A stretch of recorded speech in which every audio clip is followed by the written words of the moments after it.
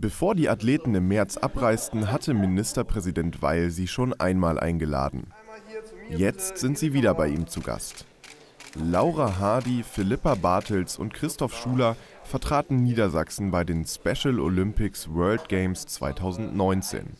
Vom 14. bis zum 21. März trafen sich in Abu Dhabi Athleten aus der ganzen Welt zum sportlichen Wettkampf. Die Schwimmerin Laura Hardy konnte eine Gold- und eine Silbermedaille mit nach Hause bringen. Philippa Bartels holte im Radrennen über 25 Kilometer Bronze. Christoph Schuler erreichte als erster niedersächsischer Golfer, der an den World Games teilnahm, den vierten Platz. Für Ministerpräsident Stefan Weil hat das Trio eine Vorbildfunktion. Es gibt ganz viele Menschen bei uns in Niedersachsen und auch in Deutschland, äh, die sind bei allen Handicaps, die sie haben mögen, bereit und in der Lage, ganz tolle Leistungen zu bringen.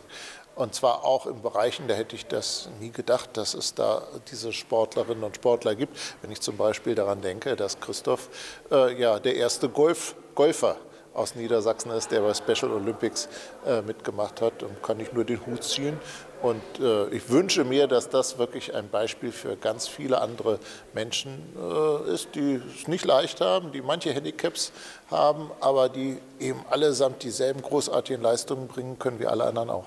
Die nächsten Weltspiele der Special Olympics finden 2023 in Berlin statt. Auch da wollen die drei Niedersachsen wieder an den Start gehen.